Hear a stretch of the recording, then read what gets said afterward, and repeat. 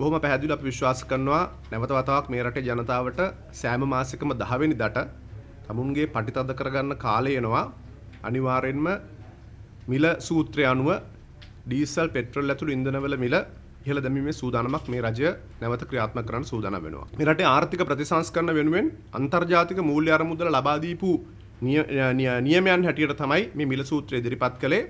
අපි ඉතාම විශ්වාසයෙන් ප්‍රකාශ කරනවා ඉතාම නුදුරේදී මේ ඉන්ධනවලට මිල සූත්‍රයක් ඉදිරිපත් කරා වගේම ආණ්ඩුව විදුලි බලය සඳහාත් මිල සූත්‍රයක් ඉදිරිපත් කරන්න සූදානම් වෙනවා. ඒ හරහා ඉතාම නුදුරේදී විදුලි බලය මිල වැඩි වෙන්නට නියමිතයි. ඒ ක්‍රමවේදය ක්‍රියාත්මක කරන්නට විදුලි බලයට විතරක් නෙවෙයි ජල සම්පාදනයට මේ රටේ ජනතාව පාරිභෝජනය කරන ඒ ඉන්ධන විදුලිය ඇතුළු ජලයට මිල සූත්‍ර නියම කරලා ඒ හරහා මිල වැඩි කිරීමේ සූදානමක් පවතින බව අපි සඳහන් කරනවා. ඇමතිවරු ප්‍රකාශ කරනවා නත්තල් දවසේ ප්‍රකාශ කරා මේ රටේ ජනතාවට හැමදාම නත්තල් තියෙන යුගයක් මේ රටේ උදා කරනවා කියලා අපි විශ්වාස කරනවා.